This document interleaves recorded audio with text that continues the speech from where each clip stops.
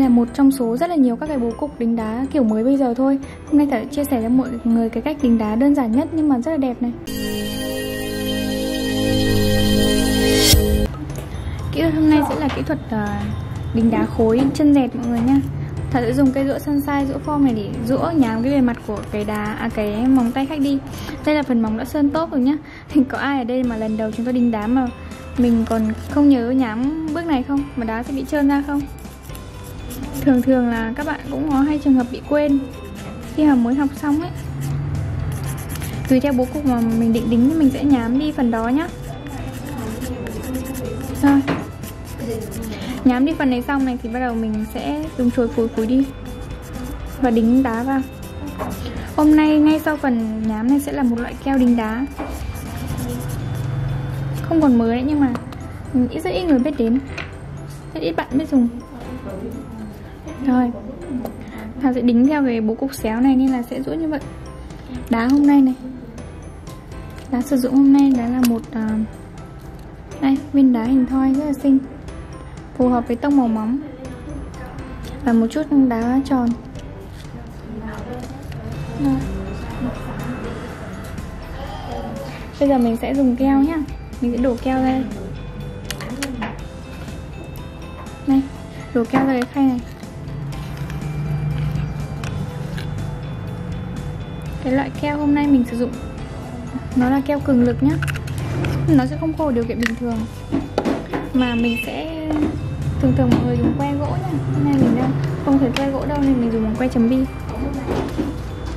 Để vào đây rồi bôi nó lên, bôi lên phần này. Nó không khô điều kiện bình thường, nó có một chai khô keo để nó khô được. Cái keo này rất là chắc. Mà mình có thể tùy ý chỉnh được ấy. Cái đá nó đi đâu về đâu. Rồi. Mình sẽ gắp đá nha.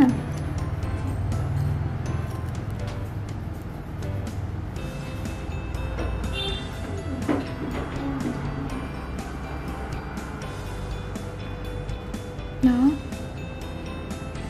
Và sẽ là một vài viên đá nhỏ. Ở bên này.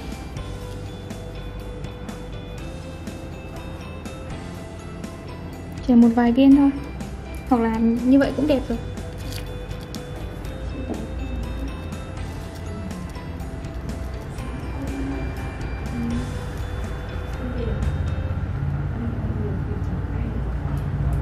Này một viên.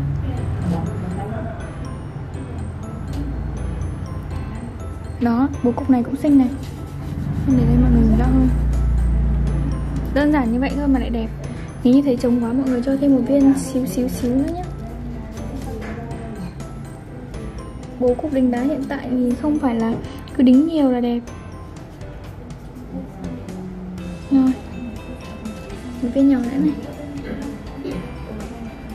Trên này đi cho cân đối. Mọi người bình thường có thể dùng cái bút chấm bi à, chấm đá nhé. Này tiện đang cầm cái nhíp nên thảo chấm bằng nó luôn. Lắp bằng nó luôn.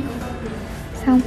Bây giờ để khô được cái keo này mình sẽ không phải là hơ đèn hay là để nó tự khô mà nó phải có môi chai khô keo mình nhỏ vào. Nhỏ càng nhiều nó càng khô. Lên tay khách, bị tác động lên tay khách nó chỉ mát mát tí thôi. Nó có mùi nhẹ nhẹ, thơm thơm chứ không phải mùi hắc hay gì cả. Rồi. Đợi cho cái này nó khô một chút thì mình sẽ sơn tốt lên là xong. Nhớ trước khi đính đá mọi người phải sơn tốt lên bề mặt móng này. Nhám đi, sau đó bôi keo. Đính đá và cho khô keo.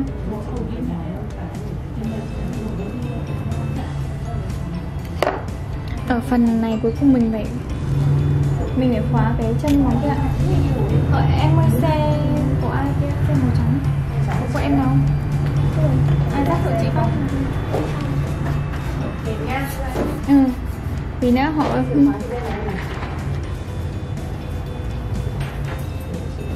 Vâng. Mình để thì đúng rồi nhưng mà tí nữa họ lại bảo là để thế này à, ta không đi được bây giờ mình sẽ khóa cái chân này lại.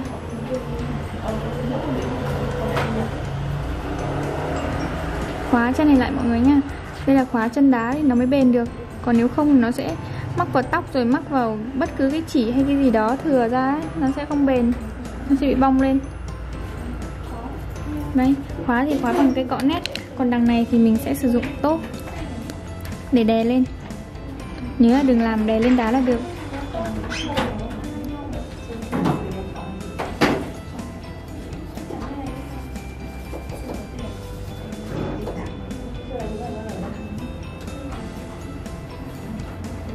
Rồi, mình hơ đèn.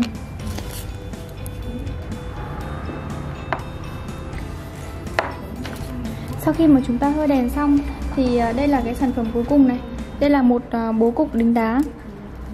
Đó, bố cục đính đá mới này.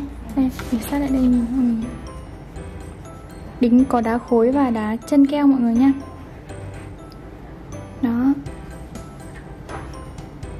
đây là một trong số rất là nhiều các cái bố cục đính đá kiểu mới bây giờ thôi Hôm nay Thảo chia sẻ cho mọi người cái cách đính đá đơn giản nhất nhưng mà rất là đẹp này Xin cảm ơn các bạn đã lắng nghe đoạn chia sẻ của tôi trong video vừa rồi. Hãy bấm nút subscribe, nút đăng ký ở phía bên dưới màn hình để nhận được video của tôi sớm nhất. Hãy đăng ký nó ngay bây giờ, bấm nút hình quả chuông để lần sau khi tôi phát sóng, bạn có thể nhận được video của tôi sớm hơn những người khác. Nghi Thảo xin chào các bạn và xin cảm ơn các bạn đã đăng ký kênh của Nghi Thảo.